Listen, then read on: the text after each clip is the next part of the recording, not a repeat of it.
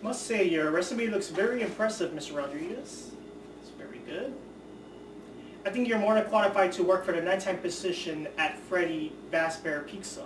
Whoa, that's awesome! Now, sorry, gotta be honest though, I don't really have much experience being a security guard, but I really need the job, and I really need the money. Times are very tough. So, um, what exactly do I do at this job? It's really quite simple. All you would have to do is keep an eye on every one of the security cameras, make sure everything's intact, make sure everything's in place. Remember, we're also trying to save some money to the company. You know, you do not want to waste too much electricity. And one final note, please take good care of Freddy and his friends. They are very expensive to the company. Well, yeah, I can handle that. Good. When can you start? Well, I can actually do it tonight.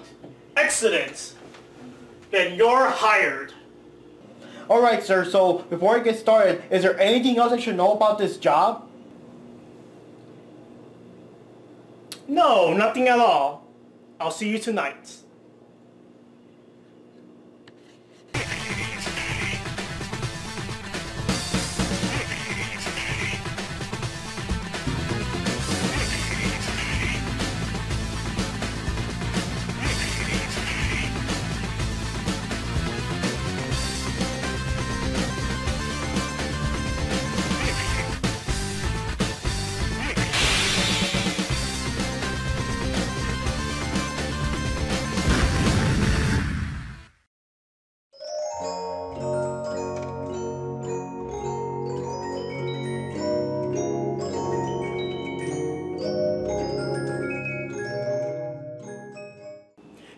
This is Mark Rodriguez. Johnny Rodriguez. And you're watching another epic episode of Video Game Masters. And this show we're going to do something a little different. We're actually be talking about a horror game, which is something that we don't talk about too often. And yes, this particular horror series has become incredibly popular in just one year's time. It already has three sequels. There's a Hollywood movie coming out soon, or they're in the stages of making and everything. But yes, this game has gotten so popular, everyone's talking about it, everyone's heard about it, you just had to play it. It got my morbid curiosity to try it out. I did not want to play this game. It was so creepy that I couldn't even download Steam for a couple of weeks because I knew that I was getting Steam for the purpose of that game. And yes, if you've seen the channel, I've played it, Johnny's played played, it, yes, Paige has played it, my coworkers have played it, and all that stuff. So in this episode, before all the big sequels in the movie and all that stuff comes out, we're going to take a quick look at the original game that started it all just last year, the very first Five Nights at Freddy's. Let's check it out. Welcome to Freddy Fazbear's Pizza, a magical place for kids and grown-ups alike, where fantasy and fun come to life. Fazbear Entertainment is not responsible. Five Nights at Freddy's is an indie survival horror game that you play as the new security guard at Freddy Fazbear's Pizza, based heavily on Chuck E. Cheese, which also has its own animatronics. Your job is to check the security cameras from midnight to 6 a.m., but what they don't tell you is that the animatronics are free to walk around at night, and if they see you, they'll kill you. This is a pretty straightforward point-and-click game. You can't really walk around or leave the room. All you do is click on the different cameras and check all the rooms at the pizzeria to make sure that Freddy and his buddies are in their place. Once you move around, you also check the cameras to see how close or how far they are from you. You can also shut the doors to keep them out, or you can check the door lights to see if anyone's creeping around right outside. You also have a guy on the phone that calls you every night to give you some information on what's going on. Now, in case you're wondering why not just keep the door shut the whole time, you also have a limited amount of electricity to work with. Every time you use the doors, the lights, and yes, even the cameras, it uses up power. What, what am I supposed to do? Just keep my doors locked? No, because you have to save power. Look at your power percent down there. But the but the things they're like escaping everywhere. That's why you have to know when to have them open and when to have them closed. What? I can't. Nope. If the power runs out before 6 a.m., everything goes dark, the doors automatically open, and Freddy is free to get you. The main enemies are Freddy and his pals. Bonnie comes at you from the left and basically can appear there at any time. Chica appears on your right, but not as often, however she does seem to stay there a lot longer than Bonnie does. Foxy is in Pirate's Cove and depending on how often you check or don't check on him, he'll dash right at your door. Freddy himself attacks on later nights unless the power runs out. He mostly hides in the darkest areas making him very hard to see and you have to keep track of his creepy laughter to know when he's moving. We also have the mysterious Golden Freddy who literally crashes the game if you don't look away from him fast enough. Now, being a survival horror game, you have no real way to defend yourself. All you can do is try to survive from 6 a.m. because once any of the animatronics enter your room, it's instant game over and they get you with a jump scare. Cue the jump scares. They're gonna die. Ah, damn you! Ah, damn you! Ah, ah, damn it! Ah, ah, damn it! The f- go away! Ah, damn it!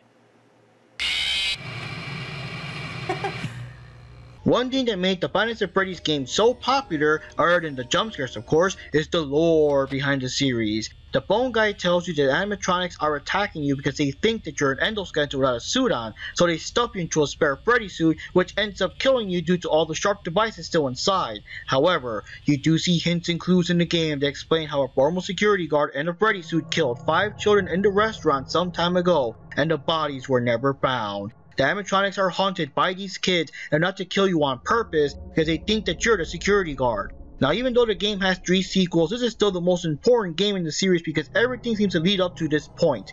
Nights at Freddy's Part 2 and 4 are both revealed to be prequels to this game with more hints and clues as to what happened here. And even though Nights at Freddy's 3 does take place 30 years after this game, there are still mini games with hints and clues about the Fredbear Family Diner, a restaurant that existed before the franchise was renamed to Freddy Fazbear's Pizza.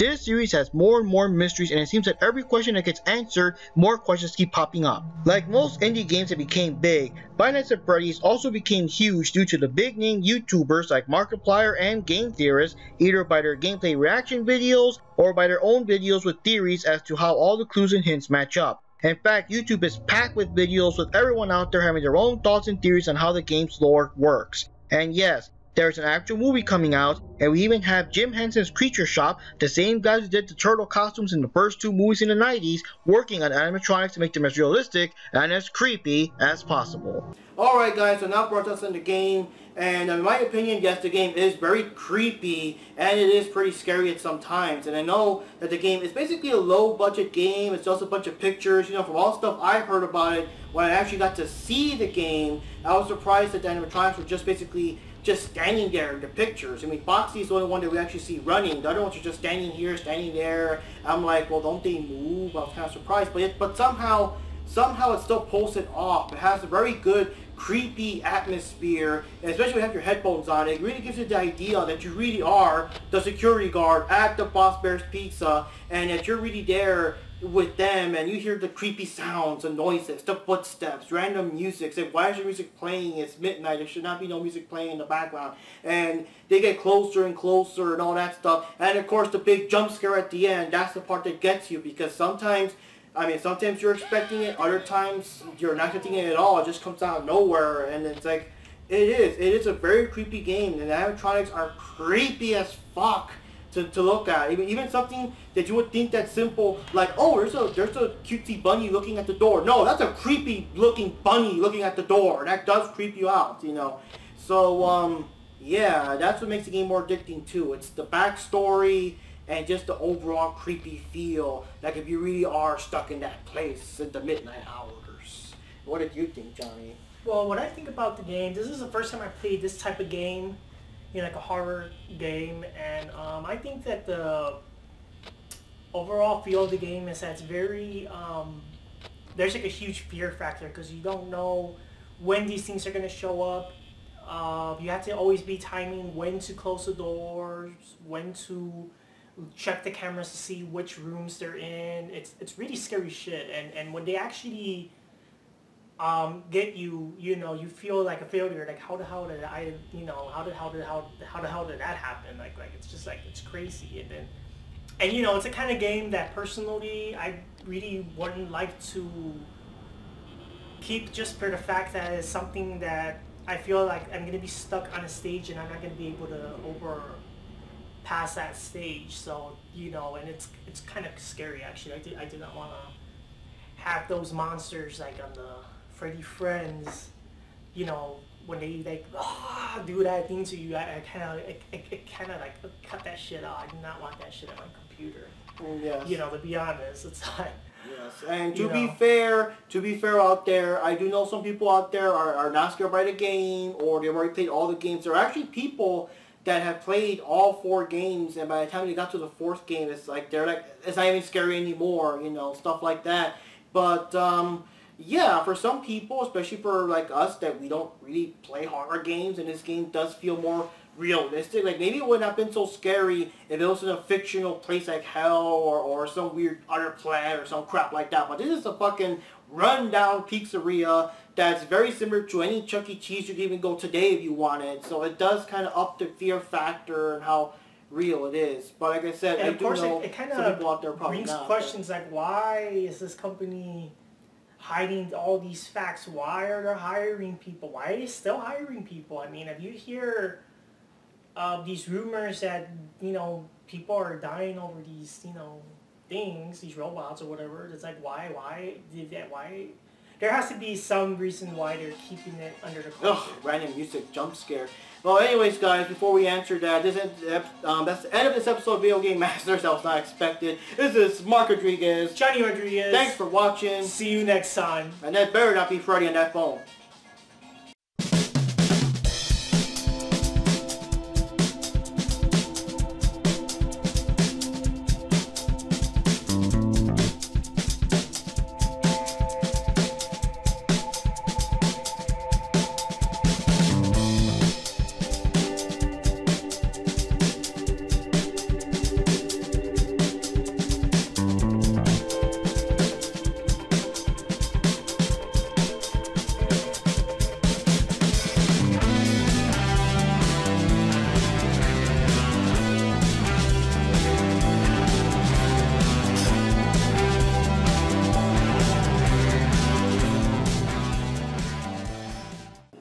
I'm sorry, that position already has been filled. Whoa! Ready! On second thoughts, a new position has just been opened. When can you come for your next interview?